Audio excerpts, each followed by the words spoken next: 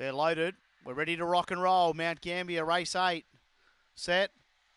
Ready and racing and away quickly from the outside was Borna Cell. Going with it, Miss Jackie. Bornacell will turn the leader, though. Got away by about two. Running to second was Me Turbo. Then came Scully to third. A gap in the field then to Extreme Jet. With it there was Roxy Daisy. Then came Emily Indigo, followed uh, further back by Scully at the rear. Up towards the turn, Bornacell is the leader to Me Turbo. Then Scully uh, in front, though, is Bornacell coming at it. See Me Turbo. Bornacell wins, though, beats Me Turbo. Not sure for third, either Scully or Roxy's Daisy. Then in behind them was Slippers Away with Miss Jackie near the rear, Emily Indigo. And through the line, Extreme Jet.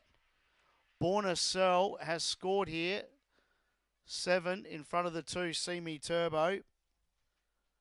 And the one Scully is up in the frame for, or not in the frame, I should say, but it's up on my screens. But we'll confirm that officially soon. Seven and two are certainly first past the post. One is up in the frame now. Time 30 13. Time is 30 13. The winner, the seven, Borna Cell. Bitch by Spring Gun out of Borma Molly. Career start number 38, win number three. Brian Weiss trained, known by Brian.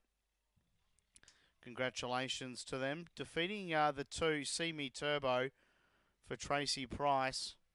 The one Scully again for Tracy Price has run third.